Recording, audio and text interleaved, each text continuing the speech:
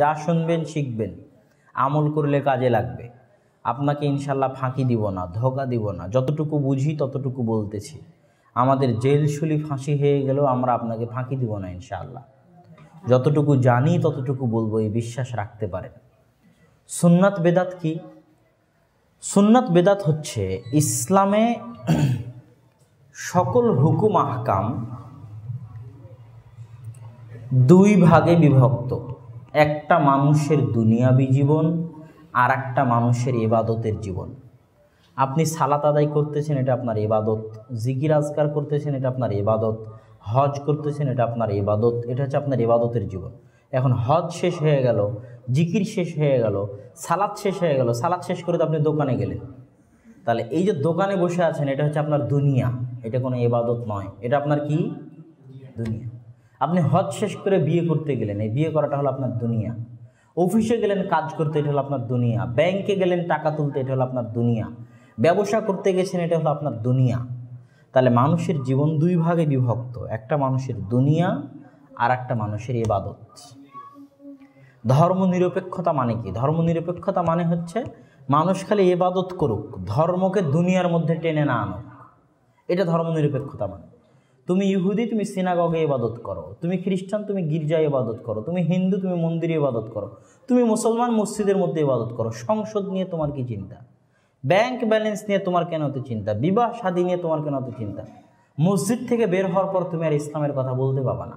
এর নাম হলো ধর্ম নিরপেক্ষতাবাদ সেকুলারিজম, যেটা ইসলাম কোনো মতেই বরদাস্ত করতে পারে না।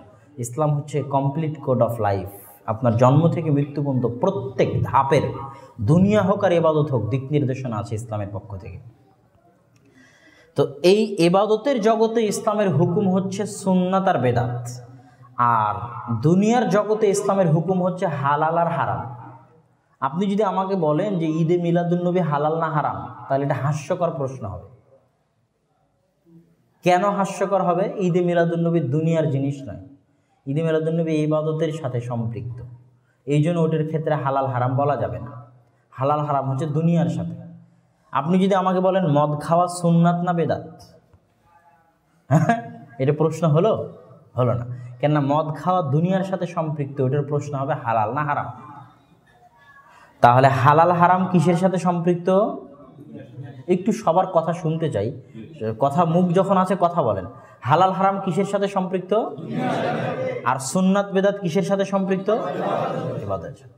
এবার ইসলামের দুইটা মূলনীতি মনে করে যান, বক্তব্যের সব অংশ ভুলে গেলেও এ অংশ মনে রাখবেন। সেটা হচ্ছে, দুনিয়ার ক্ষেত্রে ইসলামের মূলনীতি হচ্ছে আল্লাহ এবং আল্লাহ রসুল সাল্লাহ আলী ওসাল্লাম চোদ্দোশো বছর আগে কোরআন এবং হাদিসে যা নিষেধ করেছেন, যা হারাম করেছেন, তা বাদ দিয়ে কিয়ামত পর্যন্ত যা যা নতুন আবিষ্কার হবে সবই হালাল। এই মাইকটা এবাদত না দুনিয়া?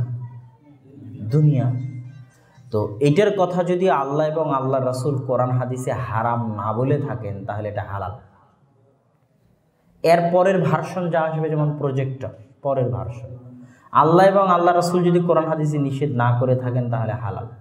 এর পরের ভার্সন এসি, আল্লাহ এবং আল্লাহ রসুল কোরআন হাদিসে যদি নিষেধ না করে থাকেন, তাহলে হালাল। এইভাবে তেয়ামত পর্যন্ত যা যা আবিষ্কার হবে দুনিয়ার মধ্যে। অথচ কোরআন হাদিসে তার নিষেধাজ্ঞা নাই। তার হুকুম কি হবে? হালাল। তথা হালাল হারামের জগতে সবই হালাল। শুধু ওইটা হারাম যেটাকে হারাম করা হয়েছে। সবই হালাল, কিছুই হারাম নাই। শুধু ওটাই হারাম যেটাকে হারাম করা হয়েছে।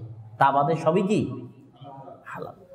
আল্লাহ রাসুল, আল্লাহ সুবাহতাল্লাহ কোরআনে বলতেছে, হর্রেমাত আলাইকুমুল মাইতা তুবাদ্দাম আহমুল খিনজির। তোমাদের উপর হারাম করা হয়েছে মৃত জিনিসকে, তোমাদের উপর হারাম করা হয়েছে রক্তকে, তোমাদের উপর হারাম করা হয়েছে শুকুরের গোস্তকে আর আল্লাহ রাসুল বলতেছে, তোমাদের জন্য হারাম করা হয়েছে দিনাব শিকারী রাতওয়ালা প্রাণীকে যে মেখলাপ থাবাওয়ালা প্রাণীকে। তোমাদের জন্য হারাম করা হয়েছে সেবা, হিংস্র প্রাণীকে। তোমাদের জন্য হারাম করা হয়েছে যারা ময়লা, উচ্ছিষ্ট দ্রব্য, হারাম জিনিস খেয়ে মানুষ হয়, যে জাল্লা আল্লাহ সেই সমস্ত প্রাণীকে। তাহলে এগুলোকে আল্লাহ এবং আল্লাহ রসুল হারাম করল। তার মানে কিয়ামত পর্যন্ত এখন যত খাবার আবিষ্কার হবে, পোলাও হোক, কোরমা হোক, বার্গার হোক, পিৎজা হোক, যেগুলো আল্লাহ রসুলের যুগে ছিল না। ছিল নাকি? যত খাবার আরও আবিষ্কার হবে, চাইনিজ হোক আর যে খাবারই হোক, ইন্ডিয়ান হোক আর হায়দ্রাবাদি বিরিয়ানি হোক আর থাই স্যুপ হোক, যে খাবারই হোক, যেই খাবারের মধ্যে মৃত জিনিস থাকবে না, রক্ত থাকবে না, শুকুরের গোস্ত থাকবে না, সেই খাবার সবগুলো কি হবে? হালাল হবে। হারাম নাই, তার মানে হালাল।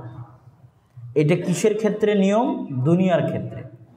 এবার সুন্নাত, বেদাত, এবাদতের জগতে হালাল হারামের নিয়মের সম্পূর্ণ উল্টা। সুন্নাত, বেদাতে ইসলামের নিয়ম হচ্ছে চোদ্দশো বছর আগে আল্লাহ এবং আল্লাহর রাসুল কোরআন এবং হাদিসে যা যা করেছে, যা যা বলেছে আল্লাহর রাসুলের মৃত্যুর পরে এবাদতের জগতে যদি কেউ সরিষা সম পরিমাণ এবাদত বাড়ায়, তো ওই সরিষা সম পরিমাণ বাড়ানো এবাদতের নাম হবে বেদাত। এটা হলো সুন্নাত বেদাতের নিয়ম। এর কারণ কেন? এর কারণ হচ্ছে নবীকে পাঠানোই হয়েছে সৎ কাজগুলো বলে দেওয়া আর অসৎ কাজগুলো নিষেধ করার জন্য।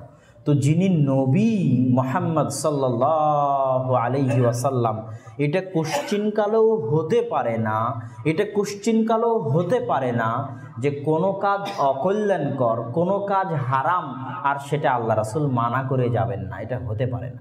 কোনো কাজ করলে নেকি পাওয়া যাবে, আর সেই কাজের কথা আল্লাহ রসুল বলে যাবেন না, এটা হতে পারে না। মানে প্রত্যেক যে কাজ করলে নেকি হবে, সব কাজ আল্লাহ রসুল বলে গেছেন। আর প্রত্যেক যে কাজ করলে গুণা হবে, তার সব কাজ থেকে আল্লাহ রসুল নিষেধ করে গেছেন। এই জন্যই তো তিনি নবী। আপনি যদি বলেন, না এখনও এমন কোনো কাজ আছে যেটা নিষেধ করা লাগতো, আল্লাহ রসুল করেননি, তার মানে আপনি বলতেছেন, মোহাম্মদ সাল্লাহ আলাইসাল্লাম খেয়ানত করেছে, নবীর দায়িত্ব পালন করেন। নওয়াজুবিল্লাহ আপনি যদি বলেন এখনও এমন কোনো কাজ আছে যে কাজ করলে নেকি হবে, কিন্তু আল্লাহ রসুল করেননি মানে আপনি দাবি করতেছেন, আল্লাহ রসুল খেয়ানত করেছে, তার রেসালাতের দায়িত্ব পালন করেননি নাউজবিল্লা যদি কথা আপনাদের নিকটে স্পষ্ট হয়, তাহলে এখান থেকে এই জিনিস স্পষ্ট হয়ে গেল যে আপনি যদি কোনো জিনিসকে হারাম বলতে চান, তাহলে দলিল দিয়ে বলতে হবে যে এটা হারাম। দলিল ছাড়া কোনো জিনিসকে হারাম বলা যাবে না, সবই হালাল। আর আপনি যদি কোনো জিনিসকে সুন্নাত বলতে চান, তাহলে দলিল দিয়ে বলতে হবে যে এটা সুন্নাত। দলিল যদি না থাকে, তাহলে সবই বেদাত। সবই বেদাত, শুধু সেটাই সুন্নাত যেটা কোরআন এবং হাদিসে আছে। সবই বেদাত শুধু সেটাই সুন্নাত যেটা কোথায় আছে? কোরআন এবং হাদিসে আছে। এর বাইরে সবই বেদাত। আর বেদাত করলে আল্লাহ এবং আল্লাহ রসুলকে শির করলে যেমন আল্লাহকে অপমান করা হয়, বেদাত করলে তেমন রসুল সাল্লাহ আলি ওয়াসাল্লামকে অপমান করা হয়। এখন আপনি বলবেন যে, এই হুজুর আসছে, হুজুর আসে তো সবই বেদাত করে দিল, তাহলে আমল করব কি? হুম। বলে, এদের সামনে যেটাই প্রশ্ন করি, সেটাই বেদাত। ঈদে মিলাদুলনবী বেদাত। একসাথে হাত তুলে দোয়া করা বেদাত। এই মেরাজ পালন করা বেদাত, এই পালন করা বেদাত, সেই পালন করা বেদাত, সবই যদি বেদাত হয় তো পালন করব কি? বলে না বলে না? হ্যাঁ? আপনি সারা কোরআন খুঁজবেন আজকে বাসায় গিয়ে, হুজুরকেও জিজ্ঞেস করবেন যে, হুজুর সাহেব, এটা আপনাদের নিকটে অনুরোধ থাকল। কোরআন তো হেদায়তের জন্যই এসেছে নাকি? আমার বক্তব্য দিয়ে জানা মানুষ হেদায়ত হবে, আর জাকির নায়কের বক্তব্য দিয়ে জানা হেদায়ত হবে, তার যে হাজার গুণ মানুষ হেদায়ত হবে। কোরআন দিয়ে হুদাল্লিন নাস কোরআন মানুষের জন্য হেদায়ত স্বরূপ। কোরআন খুলে দেখবেন যে কোরআনে কোথাও আল্লাহ বলতেছে নাকি আমল করার কথা বলার সময় যে মানুষ তাকেই জান্নাতে দিব যার আমল হবে অধিক। তাকেই জান্নাতে দিব যার আমল হবে বেশি। তাকেই জান্নাতে দিব যার আমল হবে বেশি। এই কথা আল্লাহ কোরআনে কোথাও বলতেছে নাকি? আল্লাহ তো কোরআনে আমলের কথা প্রায় জায়গায় বলেছে।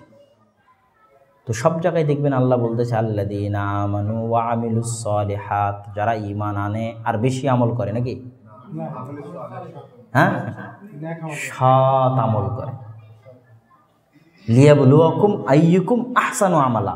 আল্লাহ তোমাদের সৃষ্টি করেছেন, এটা পরীক্ষা করার জন্য, এটা দেখার জন্য যে কে তোমাদের মধ্যে বেশি আমল করে। আহসানু আমালা মানে উত্তম আমল করে। মানে আপনি যদি এক হাজার রাকাত সালাত আদায় করেন জোর করে, আর ওই এক হাজার রাকাত যদি উত্তম সৎ না হয়, তাহলে এক হাজার রাকাত সালাত আপনাকে জান্নাতে নিয়ে যাওয়া দূরের কথা জাহান নামে নিয়ে যাবে। আর যদি একটা সিজদা করেন উত্তমভাবে, সৎভাবে, ওই একটা সিজদাই জান্নাতে নিয়ে চলে যাবে।